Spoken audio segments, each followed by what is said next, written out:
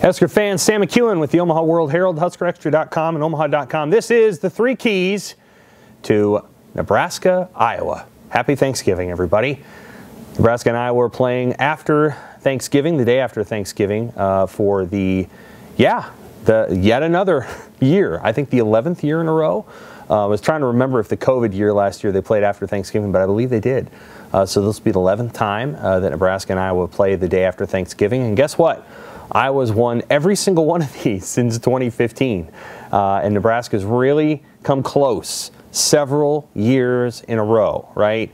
In 2018 and 2019 and 2020, they lost basically on the last drives of the game. Uh, so Nebraska and Iowa have played very, very close games.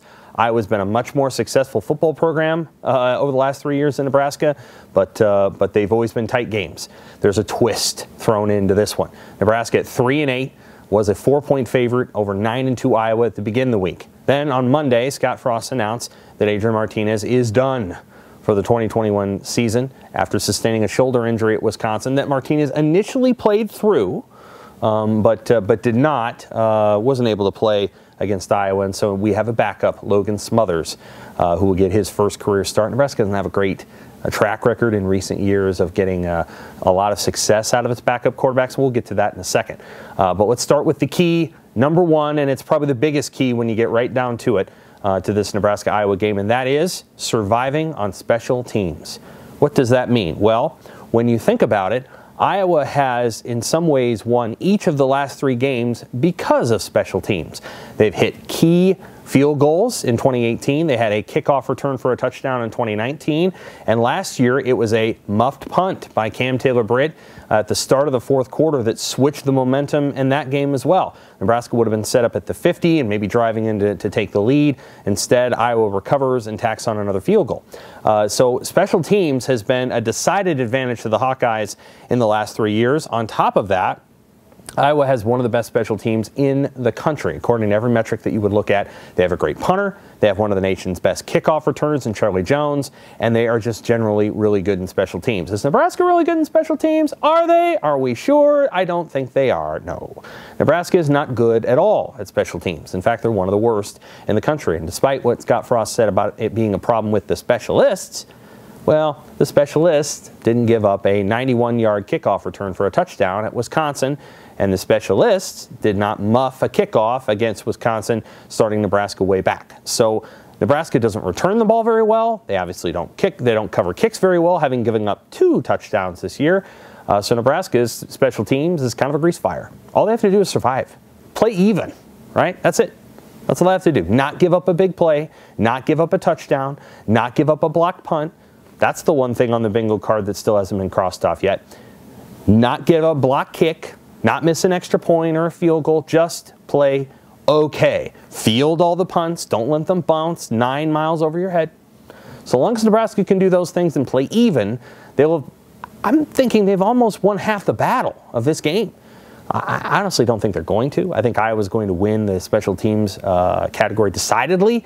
But if Nebraska is going to win this game, that they have to fulfill that. Key number two, eight wheeler. That is Logan Smothers. And yeah, he's got some wheels. He's one of the fastest quarterbacks in Nebraska history. Uh, he was a sprinter in high school. Uh, he's probably, his speed's probably up there with Taylor Martinez, right? Doesn't mean he's necessarily the best runner. Uh, but Eric Crouch, Taylor Martinez, Logan Smothers is about that fast. Uh, he's a very good straight line, uh, straight line runner. Uh, and has some has some you know elusiveness too. Uh, we could see a lot of option football on Friday with Logan Smothers out of that triple option. He's pretty good at that with maybe some play action passes behind it. Not the strongest arm that you're ever going to see, um, but he seems to have a pretty good decision making matrix, and he's played pretty well in his limited snaps this year uh, against Michigan State and Buffalo and a few other teams. Uh, we'll see. They're going to have to design the game plan along Logan. They've got to own that. I think Scott Frost made a um, what some people might consider a surprising decision to disclose that Martinez wouldn't play on a Monday, but I think one of the reasons he might have done that is it gives Logan Smothers an entire week to sit with the knowledge, the public knowledge, that he's going to be the starter. And I think that's probably helpful. Uh, it helps a guy to maybe get ready mentally and emotionally and know that he owns it and the players know it and the players can come around him. Nebraska has to be good around Logan Smothers. They cannot uh, let their guard down. Because Smothers isn't probably going to bail him out the way that Martinez was. So the eight wheeler, he's probably going to run 10 to 15 times in this game.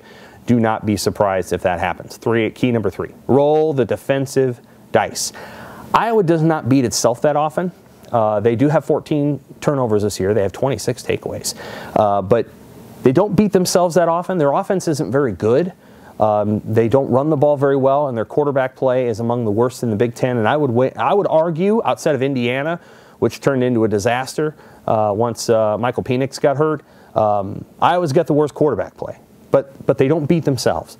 You've got to find a way to put Iowa in tough spots on offense. You got to go after them. You got to try to strip the ball. You've got to bring pressure. You've got to try to step in front of a few passes. You may even need to take a few chances. It's going to be hard for Logan Smothers and that Nebraska offense to put 21 or 28 points on the board by themselves.